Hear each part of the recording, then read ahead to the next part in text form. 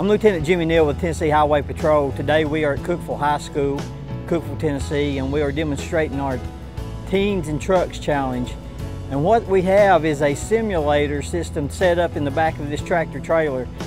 And we take it around to different schools and different community events and we try to educate the teens about the importance of knowing the no zone around tractor and trailers and also about texting and driving, distracted driving, impaired driving, following distances and things of that nature. Hello, this is Cindy Winchester, advisor of the Cookeville High School Traffic Education Saves Teens Club. We're here in Cookeville, Tennessee at the home of Cookeville High School and we'd like to welcome the Tennessee Trucking Foundation to our school today and also the Tennessee Highway Patrol. This week we're celebrating National Teen Driver Safety Week at our school. We've got a lot of events and Teens and Trucks is one of the events and we're happy to have everyone here. We focus on teen driving, the safety of driving, the no zone area, seatbelt use, everything that a teen needs to do to equip themselves to travel safely on Tennessee highways. We're excited that the kids are excited about our club and safe driving. What makes this club so unique is that it's peer-led, team-led. My name is Cassidy Winchester and I am a vice president for the Test Club. Well, the impact that the Test Club has had on me is just that it's just such a great club. You know, we're out here for one common purpose and that is to save lives and, you know, help those kids out there to learn and even adults to learn that it's dangerous to drive distracted. It's fun as much as it is educational. It's for a great cause. There's not many clubs like this out in our nation and it's just such a great opportunity. You know, there's so much to do in our club. There's so much to just come together for and it really brings us all together as friends and family and, you know, a close-knit community.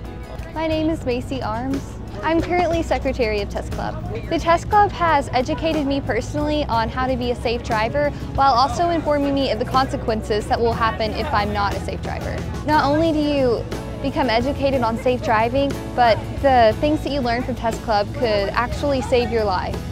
My name is Sullivan Smith. I am a Vice President in the Test Club. It has really helped me learn to grow how to inform my fellow peers and family on safe driving. I've definitely learned techniques on how to drive better. My name is Maggie Amos.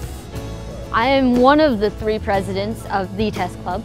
It's had a huge impact on me based on making me more aware of how I am as a driver and how I can keep myself safe and my family safe by just helping them learn the basics of safe driving and knowing that being distracted while driving has dangerous consequences. It has impacted my driving because it's made me think twice about what I do before I do it. I've learned that turning your phone off and placing it somewhere else in the car, it eliminates the distraction of your cell phone while you're driving. I'm more aware of wearing my seatbelt at all times. I make sure that my phone is always in a bag away from me and I always pay attention to everything around me. My name is Matt McMillan. I drive for Averitt Express. Been with them for about 12 and a half years. Being a part of the road team has been an honor to me. Being able to get out to the public, share with the teenagers, being a father with two kids, it, it, means more to me. Get out there and explain the safety, hopefully save some lives. And we're so pleased to partner with Mandy Johnson, the Chief Happiness Officer. She's a treat for the kids. The kids love working with her and love being with her with everything she does. The kids always ask, when's Mandy coming? Can I be the person to contact Mandy? So, you know, you need that in every aspect when you're dealing with teens. If you make them excited about a program, it's an excitable program. I think about the, you know, Tennessee Trucking Foundation. I love them. They're great. We love Miss Mandy. Uh, shout out to Miss Mandy. She's amazing and wonderful. And the Tennessee Trucking Foundation is just wonderful. Their their passion for kids and saving kids' lives, that's amazing. And we just we're inspired by them daily.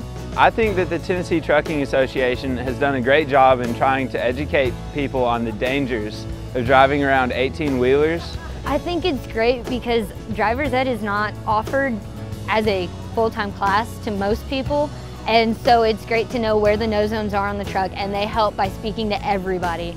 Yes, we'd like to thank the Tennessee Trucking Association for partnering with us on this program. They are definitely in the forefront on safety.